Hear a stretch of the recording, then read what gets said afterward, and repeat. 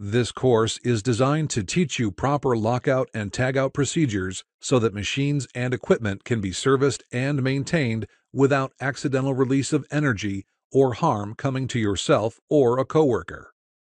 After completing this course, you will be able to identify sources of hazardous energy, describe the three different types of employees recognized in a lockout tagout program, distinguish lockout from tagout, explain how to perform lockout and tagout procedures, use a group lockout device safely, and recognize exceptions to lockout and tagout requirements.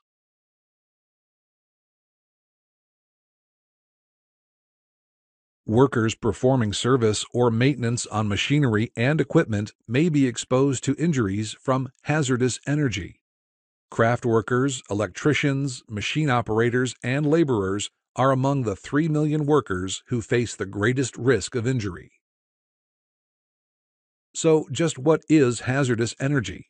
Do you know or can you make a prediction? What is hazardous energy? Type your answer in the box below, then click Submit.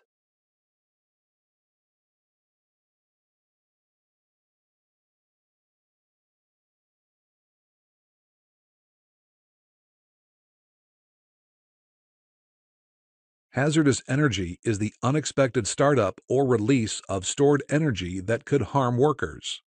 Click the buttons below to discover possible sources of hazardous energy.